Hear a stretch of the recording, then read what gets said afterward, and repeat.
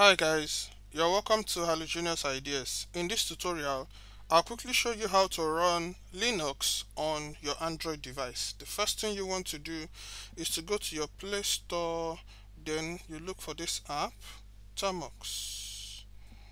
Termux. Then you look for it. This application over here is what you're looking for.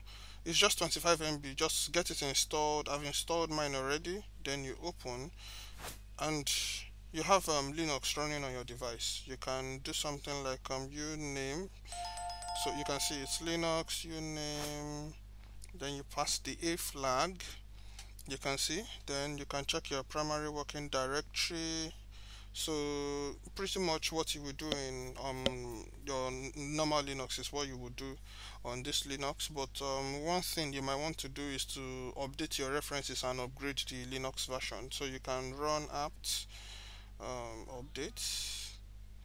So just give it some time to update all the references. Then you upgrade it apt then upgrade apt upgrade then you run it as well. So um, it's going to be downloading something just passing y and you give it some time to download. Make sure you're connected to the internet by the way.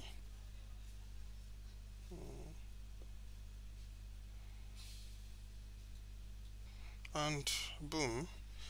Your linux is up and running so that's it basically. Um, just your primary working directory remains the same. Who am i? So this is the user. So that will be all for this tutorial. Basically that's how to run linux on your android device. Thank you for staying till the end. Don't forget to like the video and subscribe to the channel. I'll see you in the next tutorial.